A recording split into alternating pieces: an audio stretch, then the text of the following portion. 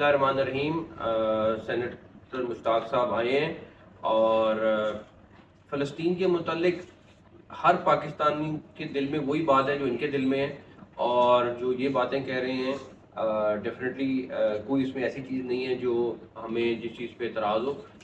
Pakistan already अपना role अदा कर रहा है, लेकिन जो इनकी सजेशन हैं, उसके ऊपर भी हम इन ताला इनको हमने कहा है कि हम चीज़ें करेंगे। और मेरे इनसे यही रिक्वेस्ट है और जिन्होंने माना है कि ये अपना धरना ख़त्म करने जा रहे हैं।